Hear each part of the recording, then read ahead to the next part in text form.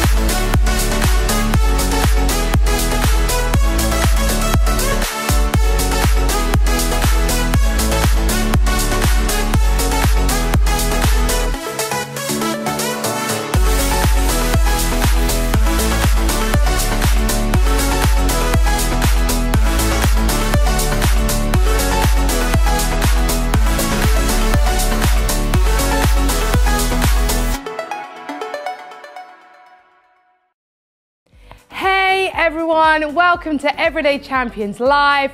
My name is Beck, and we are a global family online serving local people in the name of Jesus. And we are so pleased that you have joined in with us today. Whether you're in one of our rooms, give us a shout if you're in one of the rooms. Yeah, I can't hear you, but I'm sure you're shouting. And if you're online and you're watching from home or somewhere across the world, or maybe you're watching this back, give us some shout in the emoji with some emojis in the chat. We want to hear from you. We are so pleased that you've joined with us today. And it's going to be great. It's great to meet together as family, to be encouraged, to share together, and to be discipled together. So, this is going to be a great time together. And we've got Gareth Morgan coming up shortly who's going to continue our conversation. And it's quite a significant message today, a great message. So I encourage you to be ready to receive from that. But just before, to remind you that we have now broken up for the summer of from our circles. I know uh, who loved the last four quick four part series that we just had in circles on being devoted. It has been an amazing uh, set of teaching from Leanne. Thank you to Leanne Morgan, our senior leader, who kind of delivered that, uh, those sessions. They were brilliant. And that last session was all about being devoted to the breaking of bread. And we learned so much about that. And if you haven't caught up on that se- session, I am telling you, you need to catch up on it. It is a, a significant session, uh, but it was just full of great teaching. I learned tons of stuff. So we are about going to be meeting people, catching up with people, being intentional about meeting people to have food together, meeting people for a coffee. This is your summer to get organizing. Don't wait for other people to sort it out. You initiate those things, and we're excited to meet together as family across our locations and across the globe. So make sure that you have caught up on that last session and that you start to put some of those things into action. It was a great session. But yes, we have broken up for the summer, and more information about the circles that will be coming in September will be dropping into your inbox, will be on the broadcast. So make sure you stay tuned and make sure you are subscribed to our emails. There are a few sneaky people out there that have unsubscribed. Well, you're not going to find out. You need to make sure you're subscribed. And if you're new here and you're not subscribed to our emails or joining uh, in on our email list, you can get in touch with us at hello at everydaychampion.org.uk. And if you're in one of our rooms, there'll be some cards around where you can fill in your details and we can get you on that list. Well, let's crack on with the rest of our gathering. Gareth is going to be bringing uh, the next instalment of our series, and uh, it's going to be great. So make sure you've got notes, uh, pens, devices, papers to take some notes. It's going to be great.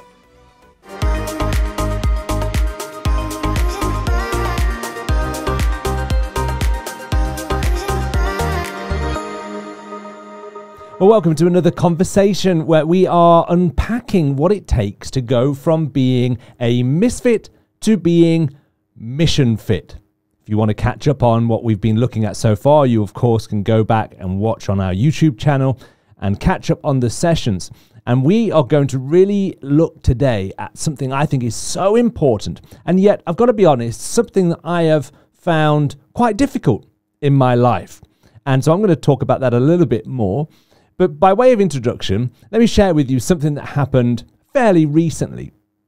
In our centre in Newark, we got a water bill that came through, and those that opened the bill in the office, their mouths dropped because this water bill was for thousands. Now, water can be expensive, especially when you use a lot of it. But usually, our bills at the centre in Newark would be typically under 100, if not just over 100, depending on usage. But in this instance, it was thousands. And we all just looked at it and thought, what on earth has created this bill? We thought this has got to be a mistake. So Rebecca it was who got onto it and started to phone up and say, hey, there must be a mistake. There's no way in a million years that we have used this amount of water. I mean, there would have to be you know revival across the nation and for everybody to be baptized in Newark for us to use that amount of water. I mean, we're talking multiple swimming pools worth of water that would need to be used in order to result in that cost that we had on this bill. So, what had to happen then was there had to be a period of time where we would measure whether, first of all, the meter was faulty, which of course is one of the, the theories, and maybe it's a faulty meter, and therefore that's why it's giving you a faulty reading. And then we had to prove our usage. And so Rebecca, along with others that would help, would go every single day and would have to lift the manhole and to or manhole cover, not the manhole, but and start to measure by taking a picture of the meter and to see where we were at. And of course, it was proven that we didn't use that amount of water. But we needed to prove it using facts. We could say, well, we don't feel we use that amount of water. And of course, that's a, an understatement. I mean, that's a huge amount of water. But of course, the people on the other end of the, the phone are, they don't know our situation. They, for all we know, we could be, you know, having a whole big jacuzzi party. I mean, that sounds fun, doesn't it? Yeah. Everyone uh, down to Newark and we'll have uh, hundreds of jacuzzis, fill them up and have an amazing party. Uh, but no, it wasn't, it wasn't the fact that, you know, we could just say to them, this isn't what happened. We've not used that amount of water. We couldn't just take our feeling of feeling kind of, oh my word, this is wrong. How dare you? We had to prove it. We had to measure and we had to track what was real. Because if we could track what was real, then we could prove to the water company that this is the correct measurement. It's amazing, isn't it? Because that's what measurement does. Measurement helps us to separate feelings from facts. We felt there's no way in a million years we use this amount of water, but we had to go to facts. Feelings weren't good enough one thing that we've had in the last year as a couple, me and Leanne, because uh, like all good married couples, we have lively debates slash arguments. Um, no, lively debates, passionate debates. It's good to have passionate debates. And so one of our passionate debates would be around the area of who is the best driver. I mean, a little competition is always good to keep the spice in a relationship. and so uh, there's always been a healthy dose of com- competition in our marriage. In fact, even before we were married, I may have shared this before, but I remember on, I think this was in the early months of us being together and kind of courting, as it was called, courting. That's not playing tennis, that's kind of having a girlfriend or a boyfriend. And uh, we, we were in our relationship, and uh, I think Leanne came round to our house and, and my parents' house, and we were up till gone midnight playing Scrabble. And Leanne was convinced that she had won, and I was just like, "No, I, I'm, I'm gonna." I've got a word here, and it's gonna it's gonna absolutely turn this result on its head. And she was sick of waiting, and so she lifted up the Scrabble board in in righteous anger, you know, like Jesus turning the tables. Leanne turned the Scrabble board, and the letters went everywhere. So of course we had a uh, we, we, had an interesting uh, conversation. and uh, but of course there's healthy competition, and one of those competitions, as I said, was who's the best driver. Well, our insurance company that we went with in this past year, they sent through a device. Now you may have this kind of device.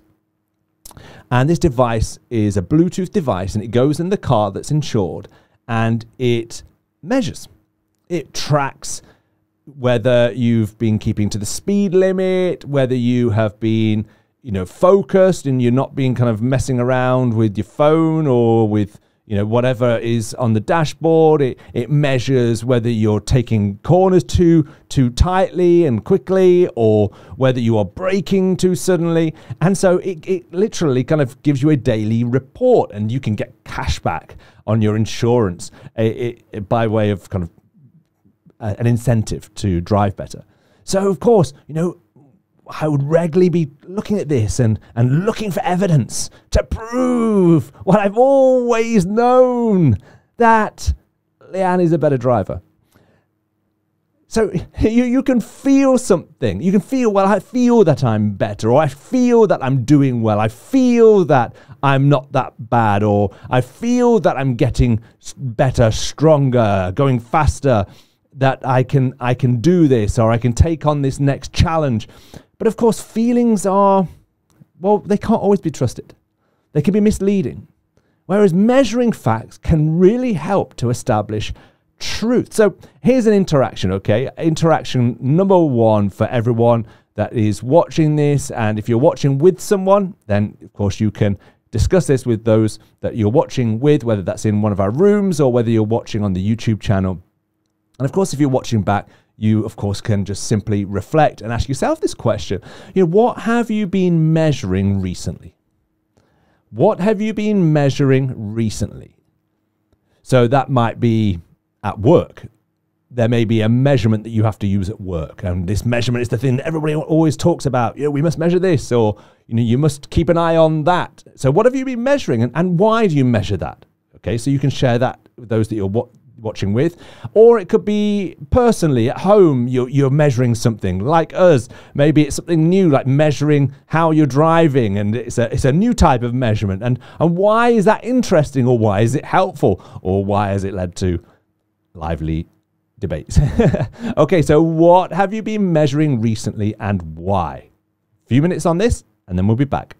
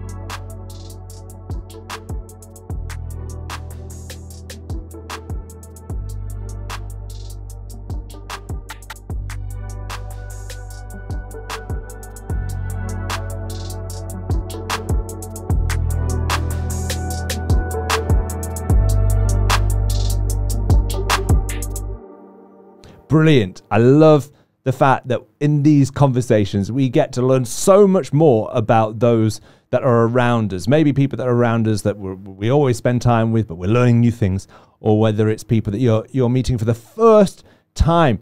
It's interesting, isn't it? How important a role measurement plays. In some roles in life, it can quite literally be the difference between life or death, especially in healthcare, of course, where those measurements are so important. They are vital in order to give information to those who are caring for us and do a fantastic job in our health service in, in kind of making critical decisions sometimes. But they need the facts. They they can't just say, well, how do you feel? Of course, that is something to ask, but but they need to know more than just feelings. They need to know the facts. And and so there are lots of different measurements in life, personally and professionally. In fact, I've heard that there are three types of people in the world those who can count and those who can't. Some of you are catching on to that. In fact, you know, it, it's like I said, measuring things is a matter of life or death sometimes. I mean, I've been measuring recently, you know, the, the, in our neighborhood, the same bike, the same bike tries to run me down every day. It's a vicious cycle.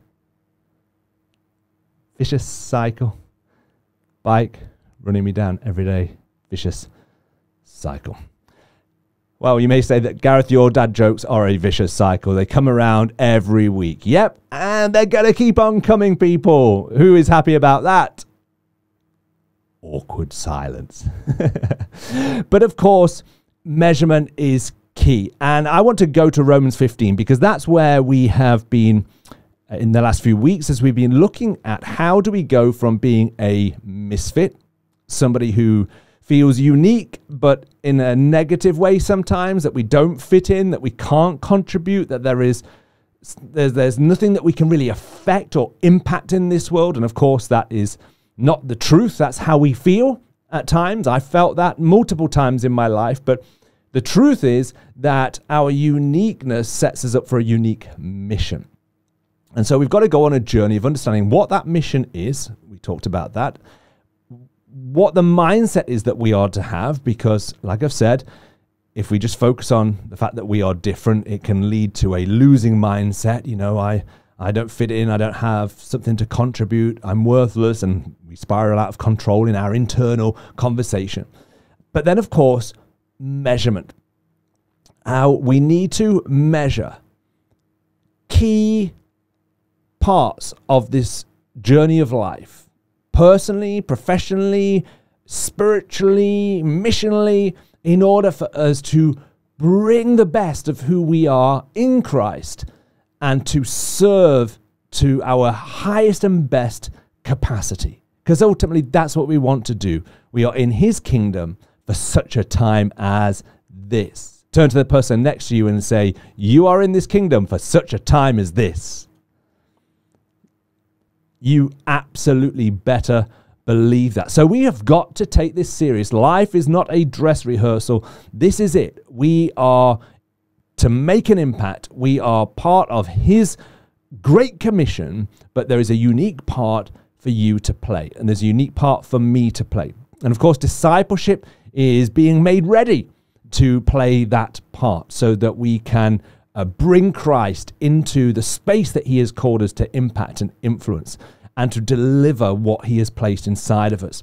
Well, the Apostle Paul in Romans 15 talks about in the second part of this chapter in this letter to the church at Rome, he talks about um, a, a contribution and an offering that was being prepared and taken up by the church at Rome. Now, this is something that Paul often talked about. Paul's job as a father and a founder, the apostle, was to, to recognize that, that the church existed so that there was interdependence. In other words, that every member of the church was there to play a contributing role to other members. It wasn't every man for themselves or every woman or child for themselves. It was the fact that we are a body. We are unique in part, but actually our significance is in the whole. And so part of the role that Paul played was he would encourage and challenge churches to to prepare material gifts, financial gifts that would help other parts of the body of Christ, other churches, other people groups within the church that were struggling. And so let's read this, uh, these few verses, and then we're going to jump to another letter of his as we unpack this whole subject. So Paul says, For Macedonia and Achaia were pleased to make a contribution for the poor among the Lord's people in Jerusalem.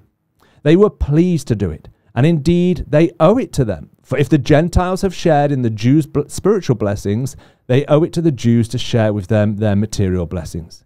So after I have completed this task, I have made sure that they have received this contribution, and I will go to Spain and visit you on the way.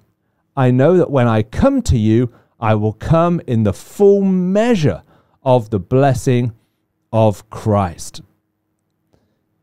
So, Paul here is talking about the contribution that the church is preparing and the, the fact that this was a responsibility upon the, the, the church at Rome because they were Gentiles. And what he's saying is, is that the gospel that you've received, the gospel of the kingdom, of course, it started with, with the, the, the Jewish people because they were God's people and are God's people in the Old Testament, but of course now in the New Testament, under the New Covenant, um, everybody has access to be, be a child of God in His kingdom. And so we have benefited, Paul says, by their spiritual blessings because it's come through them. And so now we have to make sure that we share with them our material blessings. Okay, so so Paul is encouraging an abundance and an abundant mentality in the church rather than a scarcity mentality. And it's so easy, isn't it, to be, become uh, scarcity, uh, uh, have a scarcity mindset, and to think in a way that I, I don't have enough, and therefore I can't give and and and that can really impact. In fact, it's huge, has a huge detrimental impact on our mission when we have that mindset. And so Paul here is is challenging the church. He's saying, "I know when I come to you, I'm going to come with the full measure of the blessing of Christ." And and Paul here is is indicating to the church that you know the way that we approach these things of being servants and giving and having this abundance mentality it affects everybody.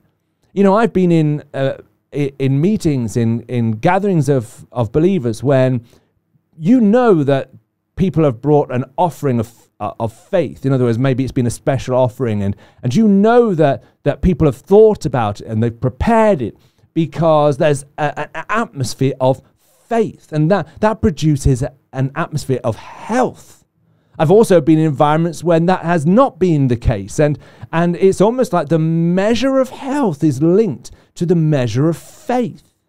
And so Paul here is, uh, is in the church at Rome indicating this importance of, of sharing the material blessings because, of course, they've experienced the, the blessing of, of spiritual blessing. But we're going to jump to 2 Corinthians 9 because, again, this is another letter to a church in Corinth, another uh, Gentile group, because that was Paul's specific assignment and mission. And Paul here gives us our first point that I want to bring out, and that is measurement is good management. Let's say that together. Measurement is good management. Let me go back to my illustration of the a car. And and it's interesting because we just recently had it in for a service. And some of the, the the the, challenges with the the health of the car, you can link to the performance of some of those metrics that we've seen in the year. Now, of course, cars uh, they deteriorate naturally, and so not everything is is as a result direct result of what you've done, but of course of just wear and tear. But it's interesting that, that actually you can prevent things happening to your car by learning from the, the things that it's shown. You know, this is how you've been driving. This is, you know, if, if for instance, if you've been stopping too uh, uh quickly and, and kind of setting off too quickly and you've kind of got that stop start kind of way of driving. I'm sure none of you have got that. then, of course, one of the things that's going to go is your brake pads are going to go sooner because, you know, the constant braking. So again, you know, if you want to be a good manager and steward of your car, then measurement is really important. I mean, how many of us have forgotten to check the oil? Come on, raise your hand right now. Okay, if you're watching this in the on YouTube, just put a, a person with a hand up or just stick an emoji down or whatever. You know, you've forgotten to to check the oil. Yeah, and and how did that end? I guess it depends how long you left it without the oil, doesn't it? But again, like, m- measurement is good management. So Paul here says in 2 Corinthians 9 from verse 5 to 6, and again, I encourage you to read the whole chapter in your own time to get the full context, but Paul says this So I thought it necessary to urge the brothers to visit you in advance and finish the arrangements for the generous gift you had promised. Then it will be ready as a generous gift not as one grudgingly given. Some really interesting points that we could draw out of this because Paul here is highlighting the connection between measuring and preparation. So Paul's saying, you know, I'm going to come to you in advance, and I'm going to come to you in advance because then we can find out exactly where you're at with preparing this gift, and then that will help us to measure how much more needs to happen so that we can finish well, so that we can prepare well. And and Paul is highlighting that you know the the measurement and the preparation of these arrangements is linked to the spirit of how that gift is given because he says you know ultimately and let me paraphrase the, the the the reverse of what he's saying. He's saying, if we don't prepare, and if we don't measure how well we're currently doing, and therefore what is left to do, what's going to happen is it's going to be a gift that's given out of reaction rather than preparation. And it's going to be done out of fear rather than faith because you haven't prepared well. Because if you're not preparing well in what you're giving, then you're probably not preparing well in other areas of, that you're stewarding. Because measuring is a mindset. Because it's a mindset of, of excellence. It's a mindset, a management mindset is one in which we recognize that the details matter, that the details reflect what we truly value. And so Paul here is saying, I don't want to deliver an offering that is grudgingly given. because ultimately, don't forget, Paul's the one that's going to deliver it. And he doesn't want to turn up and say, hey guys, yeah, the guys at Corinth, they, they, they took this, this offering, but mm, that's it. I'll, I'll just leave that with you. he wanted to make sure that again he came, as he said to the church at Rome, I come in full blessing. In other words, that we've done this well and, and with excellence. You see, we lose the joy of something when we, we haven't managed that area of our life well. Any area of your life right now that lacks joy can often be traced to mismanagement. I know that in my own life. I know that when I have not managed my time well, and therefore I've not managed spending enough time with Leanne or enough time with the, the kids or en- enough time um, with with friends or enough time with with colleagues or enough time whatever that is that area will lack joy. It will la- therefore lack fruit. It will therefore lack health. And and that's what we've got to understand here because measurement measurement reveals health or lack of health. And on this journey of going from being a misfit to mission fit, it's a bit like I guess it's is it from uh, from couch to 5k i think they call it. It's kind of talking about going from an extreme kind of place of lacking health as in being unfit to kind of being fit. For us to, to go on that journey we, we've got to embrace measuring. We've got to measure. So eh, usually what happens is an area where we lack joy is an area that we've mismanaged. But let me say this, let's let's peel back a little bit more. So if a, an area where we lack joy is an area where we've mismanaged, if we peel that back again, where we've mismanaged is usually where we've mistrusted. In other words, we've placed our trust in the wrong things. And usually, where we've placed our trust in the wrong things, there's fear. We've said it before, we'll say it again. But where I fear the most is where I trust God the least. So you can see here that measurements reveal what is really going on.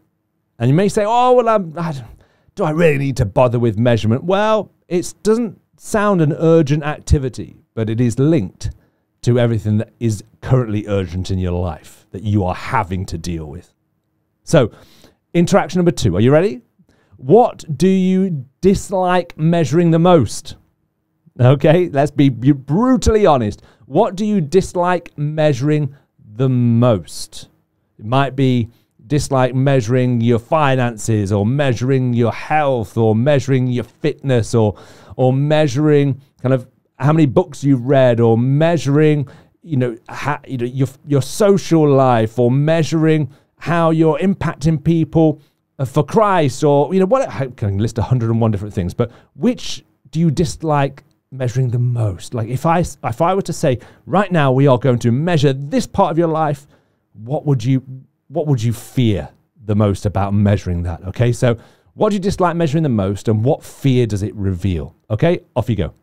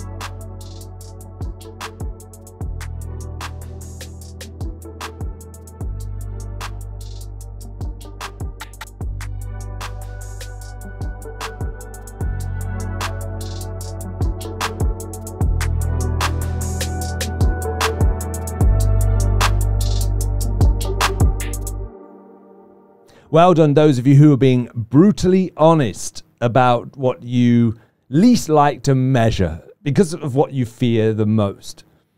You know, it's only when we get brutally honest about those areas that we really start to touch on the areas, not only that very often have the greatest pain, but also on the flip side have the greatest potential. We can live the rest of our lives avoiding that area. But if you avoid that area of pain, you avoid the area with the greatest purpose.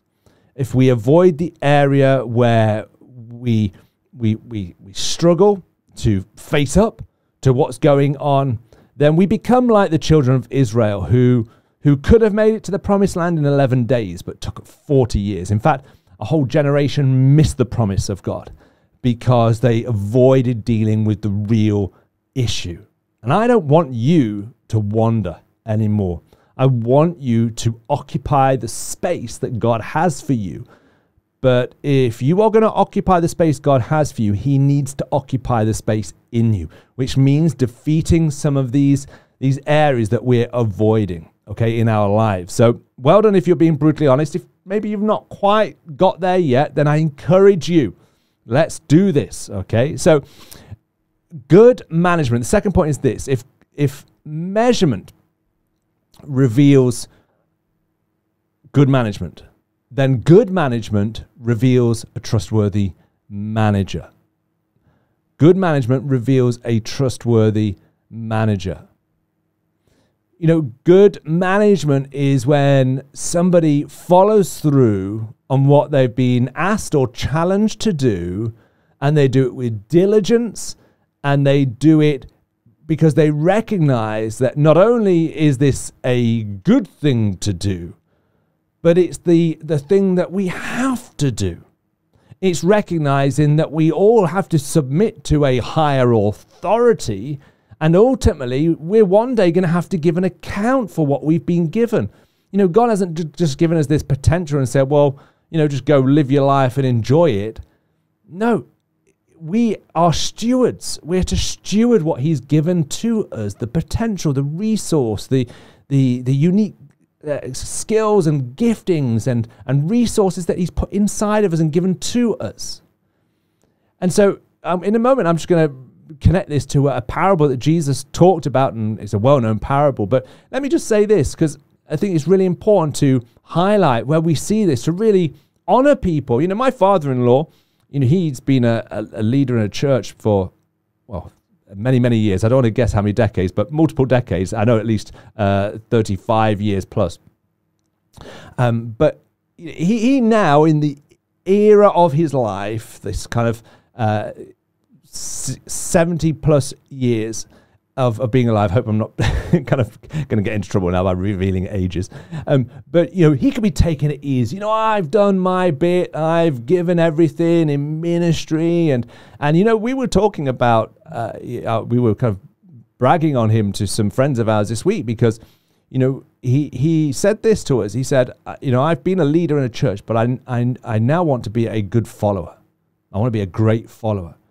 And you know, that's the heart of a a good manager when they recognize that ultimately, as as we are all in this position, that ultimately we are here to lead others, but to be a great leader, we have to be a great follower, which means kind of doing what is right with what is given to us. You know, we've been talking a lot at Everyday Champions about the importance of conversations, of coaching conversations, that these are discipleship opportunities to impact and influence people. He goes out every single day and he's often, every time we see him, he comes back and tells us about another conversation that he has had. He, he expects, he, he invites, he asks for conversations. And guess what? When you ask for them, you get them. And so some of us are like saying, well, I don't make an impact. I don't, I don't make a difference in people's lives. Well, are you asking for the conversations? Again, if you know my father-in-law, then go and speak to him. He'll encourage you with, with what he's seen as a result. But you know, it, when you are a good manager, God entrusts you with more.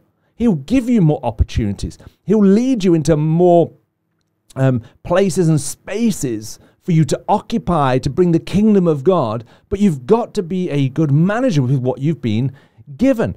I, let me encourage you set a goal each day. This is It's so simple to do. Simple to do. Set a goal each day and just say, like, who do I want to have a conversation with today? How do I want to make them feel? What is it I want them to know? When you're praying in the morning, just say, God, this is what I want to do. I want to, I want to, to serve. I want to, I want to make an impact. I, I want somebody to feel something that I feel from you every day, God. I want them to feel love, joy, peace, hope.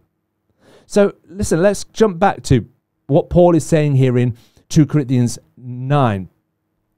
And this is what he goes on to say from verse 7. He says, Each of you should give what you have decided in your heart to give, not reluctantly or under compulsion, for God loves a cheerful giver, and God is able to bless you abundantly, so that in all things, at all times, having all that you need, you will abound in every good work. Wow. You see, Paul is highlighting to us here that heart health can be measured. That ultimately, what we do with what we materially, have, what we do with our time, what we do with our energies, where we spend that, these are things that can be measured. Yeah, we can measure time, we can measure um, uh, where we put the best of our time and energies, especially when we know maybe in the certain points of the day and week we have the highest amount of energy. So what am I doing during those periods? And then, of course, what money I have. So these material things that we can we can measure them. But Paul here is saying that that okay, with this gift that you are preparing to the church at Corinth, I want it to be a gift that is done cheerfully. I want it to be done not under compulsion because you feel you have to. I want it to be because you want to. And again, he's saying he's giving them a principle of the kingdom that you are in a kingdom that does not lack. You are in a kingdom of abundance. He says, and God is able, God is able to bless you abundantly. So then, in all things, at all times, having all that you need, you will abound in every good work. I love the absolute nature of that statement. I mean, how many times do we fear not having enough, not having what we need? Not able to be generous, not able to do the good works that are connected to our mission. Well, God is saying you don't have to fear any of that if you adopt the position of being a good manager that becomes a trustworthy manager. If you measure and prepare what you have in a way that is in faith going to serve God and serve people, if you are a good steward with what you have, then, then God is saying, I've taken care of the supply. God's job is the supply. Your job is stewarding the supply. So all I need to do is not focus on where is the supply coming from, but what am I doing with what has already been supplied? And and I need to prepare. I need to measure. I need to be proactive, not reactive when it comes to the things that God has blessed me with. And of course, what happens is the mission focuses us because without a mission, we don't have a demand. We just think, well, life is about just maintaining a level of lifestyle. God forbid that that's what we fall into as the church, where we're just about, well, as long as I've got enough to live, then then great, we're all good, and I'll turn up to church and I'll give my glory to God, and and as long as God is blessing what I'm doing, then then then all is good. No, that is not kingdom living seeking first the kingdom is not getting God to seek first our interests. It's about us seeking first his interests and putting everything that we have behind his interest. And he promises when we seek first the kingdom and his righteousness, then all the other things will be added. He will supply, he will add when we are focused on what we are supplying. So, again, that's why Paul's letters are often about the church supplying to the needs. The early church, which again, Leanne's doing a fabulous job in circles, which I, I believe we've come to a conclusion now, but uh, of looking at the early church. And they, they had an abundance uh, in, in the church because each person was measuring and preparing what they had, meeting the needs proactively, not reactively, cheerfully, not begrudgingly. Okay? So let, let me encourage you right now because, and I've said it already, but the what is important in the kingdom rarely feels urgent. The urgent in our lives is usually driven by feeling. Well, I feel I need to do this. And usually that can often be driven by fear. But we have to really take a hold of our lives. We need to take a hold of our marriages. We need to take a hold of our families. We need to take a hold of our finances. We need to take a hold of our health. We need to take a hold of our, our relationships. And we need to start measuring. Because if we don't, we will not become trustworthy because we're not good managers, because we're not measuring. Okay? So the final point is this, and then we'll have a final point of, of interaction. A trustworthy manager will manage miracles. A trustworthy manager will manage miracles. So remember, ma- measurement leads to good management. Good management leads to becoming a trustworthy manager. And a trustworthy manager means we will manage miracles. Paul says in verse 10 of 2 Corinthians 9 Now he who supplies seed to the sower and bread for food will also supply and increase your store of seed and will enlarge the harvest of your righteousness. You will be enriched in every way so that you can be generous on every occasion. And through us, your generosity will result in thanksgiving to God. You see, that's the mission, isn't it? To be generous on every occasion, where we get excited and enthused about looking for opportunities to supply and, and that's the kingdom, that we would be led by faith and not by sight. That we're led by this absolute awareness of the abundance and wealth of the kingdom of heaven, and that we are to, to access that and to use it to impact the earth. God wants to supply more. And he says here, Paul says he supplies seed to the sower and bread for food. In other words, he will supply the bread that you are to eat and the seed that you are to sow. He'll increase the, the store of seed. In other words, as he sees you sowing it, as he sees you in line with your mission, giving out, he will give more. And it will result in thanksgiving to God. It will produce stories where we celebrate the goodness of God. You know, this week, as I mentioned a little bit earlier, me and Leanne drove a few hours to visit uh, some friends, and we had a great time, spent some time talking, sharing, eating together for a few hours, and, and sharing stories. And as we shared those stories, as I reflect upon that time together, it was, it was a, a time when we were all refreshed because we were sharing stories of God's miracle working power. Stories when it, things just didn't add up naturally speaking. In other words, God came through in ways in, our, in families, in church, in finances, in relationships, in health, in ways that were just, they just don't, it doesn't add up. It doesn't make sense. But that's the kingdom economy. The kingdom economy is when we take what we have, and this is the, this, the principles here. I can look at every one of the stories that were shared, and those stories were were the result of God's goodness and faithfulness connected with the measurement of being a good manager, of being trustworthy, and taking what we had in those situations that often doesn't seem enough. In fact, rarely ever seems enough. But that's the whole point, because that's the that's the area where we lack is the area where we trust God. But we don't go in looking at driven by sight. Well, I lack, so I can't do this. No, I see the lack and I say, that's your area, God.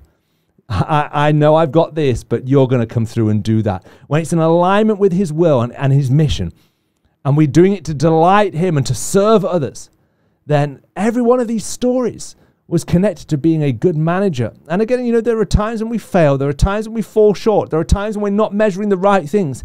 But I'm here to to to rally the the the, the, the people of God and to say it's time to understand the space that God wants you to occupy. There's a space that you are uniquely shaped to occupy. There are miracles, there are stories that God wants you to, to manage. He wants you to bring the riches of heaven to earth so that people are impacted with the wealth of heaven. And wealth is not just finance, wealth includes finances, relationships. It requires, it, it includes uh, uh, the whole area of, of, of feeling fulfilled and, and meaning and joy and peace of mind. All of these aspects are aspects of of the, the, the, the wealth of God's kingdom. And as with any kind of the kingdom concept, and we've seen this again, man's version of kingdom is is flawed because man is flawed. So we have lots of examples of how kingdom has not been done correctly. But the but kingdoms have have a wealth, and of course, in the the United Kingdom, that kingdom has a has a uh, has a number of other realms in which the the queen and now of course the king uh, presides. And of course, we have this thing called the Commonwealth. And the whole idea of the Commonwealth was that the wealth of the nation that colonized the nations that they took on was to share and distribute that wealth to those nations. Now, of course, again, it, there's lots of examples where that isn't uh, the case. But the whole idea is that, that there's an abundance in the, in the kingdom of, of heaven. And God wants to bring that abundance to earth. He wants to colonize earth with his rule and his reign not so that people are held back, but so that they are released in the fullness of who He's created them to be. He wants the, the, the wealth of the kingdom to become common wealth. In other words, that every day, in everything, you are able to abound in every good work. Why? Because there is a wealth that is not scarce, it is common. In other words, it's available all the time. But we have to be vessels that are ready to measure, as good managers do, to be good managers that become trustworthy and trustworthy so that we are able to then manage the miracle. And those stories that we shared, I went away and Leanne went away uh, just inspired to believe bigger, to believe for more, because God is wanting to fill this whole earth with the, the knowledge of, of, of Christ Jesus and his glory. But he's going to do that through you, and he's going to do that through me. And so here's the final, final interaction question what does the mission require you to start measuring today?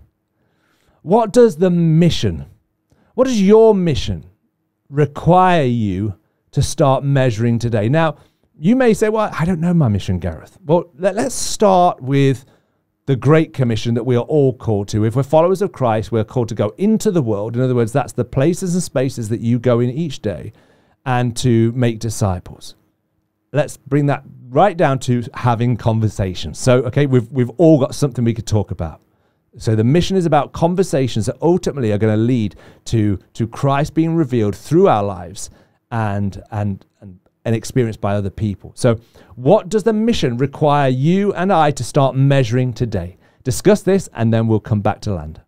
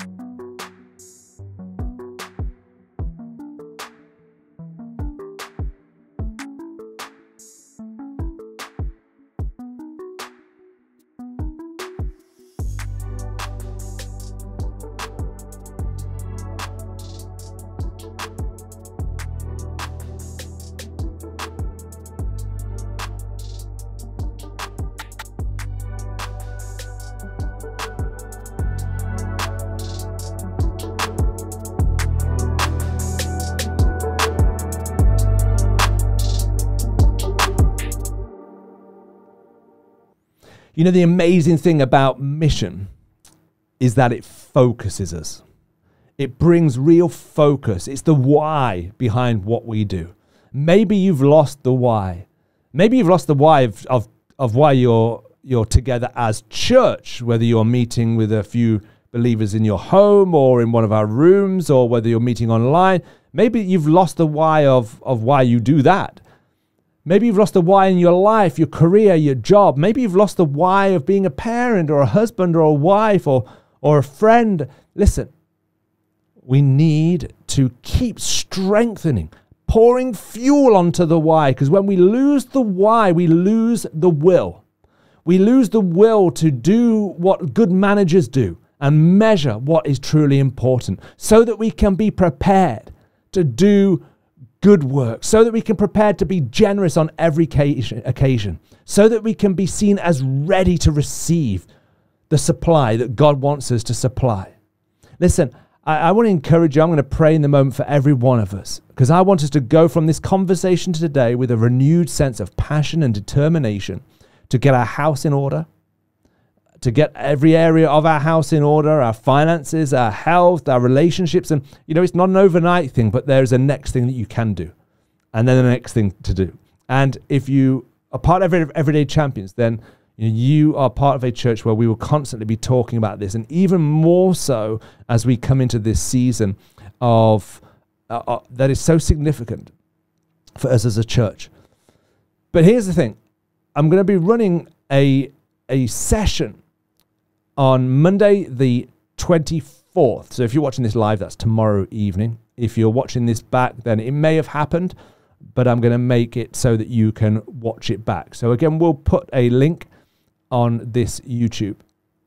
And I want you to think about if if you really want to be somebody who is going to make an impact, if you really want to get mission fit, if you can't say, do you know what, I know what my mission is, and I know the the the supply God wants me to bring and where He wants me to take it to, then the the session that I'm going to be running is called Occupy Your Space.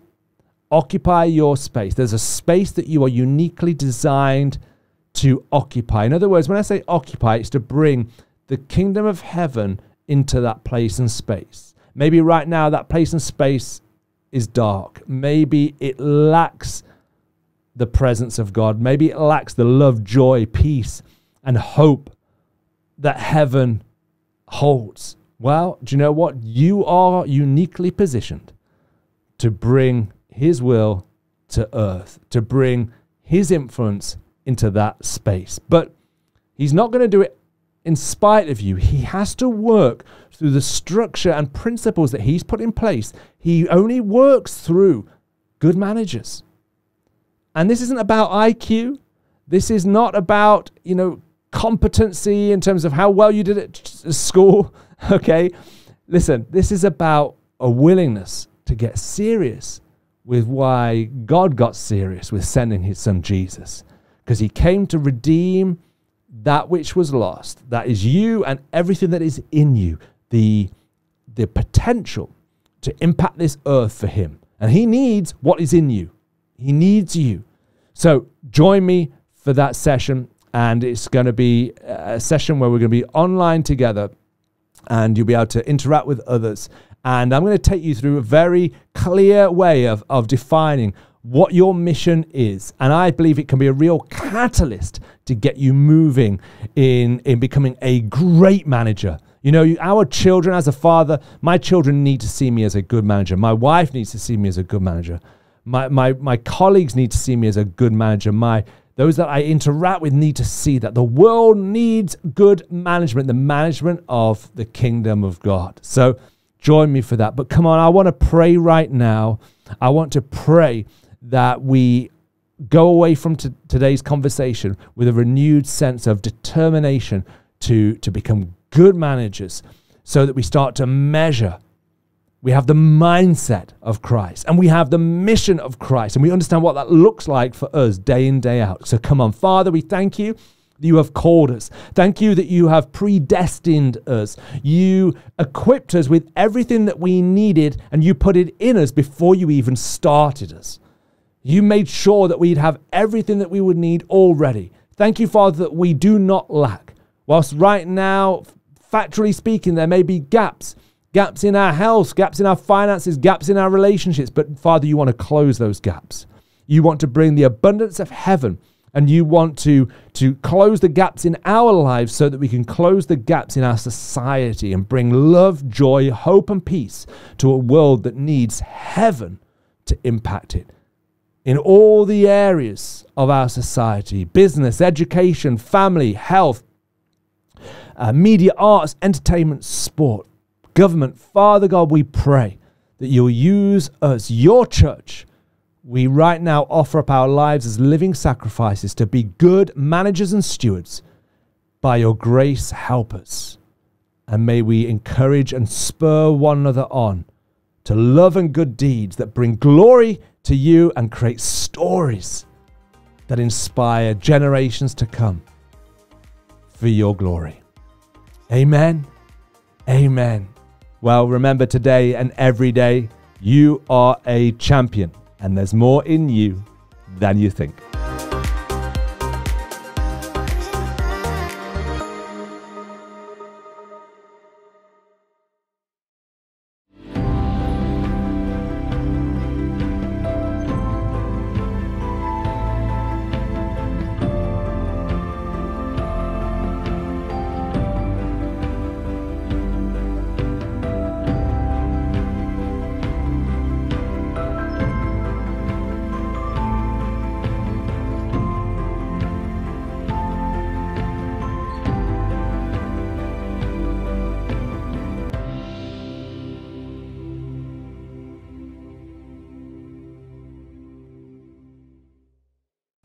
Thank you for that conversation, Gareth. What a great message, a challenge to us.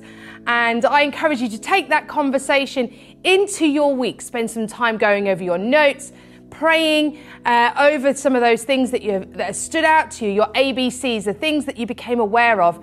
And, and maybe pick up a conversation with somebody this week around the topic of what has just been discussed with us today. Thank you, Gareth. That was absolutely brilliant. Well, we're going to carry on with our worship today as we take communion. So if you're watching at home and you need to go and grab some bread and juice so you can take that with us, feel free to go and do that now.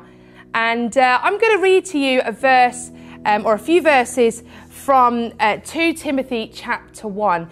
And starting at verse 9, it says this He has saved us and called us to a holy life, not because of anything we have done, but because of his own purpose and grace.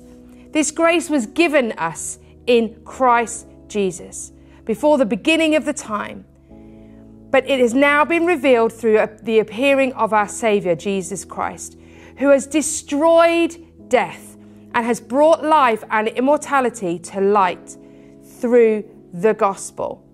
Some really, really great verses there. That of as we come around this, this time, as we worship God and we take the bread and we take the juice, we remember that we have not done anything. There was nothing that we have done that deserved reconnection back to God. Jesus came to this earth and reconnected us back to the Father. But it was nothing that we had done. Those verses said it's, it's not because of anything we have done, but because of His own purpose, and grace. That word grace, if you think about the, the letters that make up the word grace, G R A C E, I simply put it as God's riches at Christ's expense. God's riches at Christ's expense. God gave, Christ gave his life for you so that God could give you his riches. And he, we didn't deserve it. But that's what grace is getting what we do not deserve. And we're just so thankful to Him for that. And we can come and we can break the bread and we can say, Jesus, we thank you that you came and you gave your life so that I could experience reconnection back to the Father. I could experience God's grace and His mercy and His love. And we can take this remembering that He didn't stay in the grave but he rose again. And it said in those verses that he has destroyed death. That we don't have to be fearful of death. We don't have to be fearful of the future. We don't have to be fearful about what's going to happen. Because we know that Jesus, when he died on the cross, he destroyed death. And that means that we can take the bread and the juice today and remember what he has done. He's no longer in the grave, but he rose again and he's coming back again. And that's an amazing and an exciting uh, way and perspective to take the bread and juice today. That Jesus, you died, you destroyed death. And because of your death, because of what you did, I can experience the grace of God. Not because of anything that I have done to deserve it, but because purely because God loves me and God loves you today. And so as we take the bread and juice, let's have that as our mindset and our perspective today. That Jesus, you came and you gave yourself fully for us. So as I pray, let's take the bread and juice in worship to Him. Lord God, we just thank you for your sacrifice of your Son. Lord God, we thank you for your grace. We do not deserve your grace. There is nothing we could have done to deserve this. But you loved us so much that you sent your one and only Son to die for us. Lord Jesus, we thank you that you gave yourself fully. We thank you that you went all the way to the cross. That even though in your humanity it was such a, a painful and torturous moment, but you knew that you had to go through that and you said that you would follow the Father's will. And it was the Father's will for you to die so that we could have eternal life. And Lord Jesus, we are just so thankful. We thank you that you didn't stay in the grave, that you rose again, that you destroyed death, and that we can have eternity with you in heaven. When we come to you and we say that we are sorry, today we say afresh, we are sorry for the things that we have done wrong. We are sorry for the things that we've done against you. And Lord Jesus, we accept your forgiveness and your love and your grace and your mercy and your kindness to us. We are just so overwhelmed by the gifts that you give us, the riches from God that were at your expense. So, Lord God, we come to you today and we say thank you. Jesus, we thank you for your body that was broken and your blood that was shed. And we today give you the praise and the honor and the thanks. And Lord Jesus, we thank you for those who are given today, those people who are given financially today, who said, Yes, I want to give out of the, uh, out of the overflow of what you have given us, from the provision of the things that you have given us. We give back to you today and we say thank you for what you have done for us and what you have given us. So we pray, Lord Jesus, that you will bless what is given today financially. Bring a multiplying effect to it, we pray, so that we can further your kingdom in Jesus' name. Amen. Amen. It's great to give as part of our worship. And if you want to give today, you can head over to our website, everydaychampions.tv slash give, where you can give directly as a one-off donation or as a regular give. You can do that all over on the website and the details are below. Well, it's been great to worship together. It's been great to uh, listen and grow and be discipled together. Remember, circles have finished for the summer, but you can meet up with your circle or with other people. Let's do the breaking of the bread together. Let's have meals together. Let's, let's grow together and be disciples of Jesus together over this summertime. And we look forward to Circles returning in September. Make sure you're subscribed to emails, as I said earlier, to make sure that you receive any information regarding that. Well, it's great to have you with us join today. Remember, today and every day, you are a champion, and there is more in you than you think.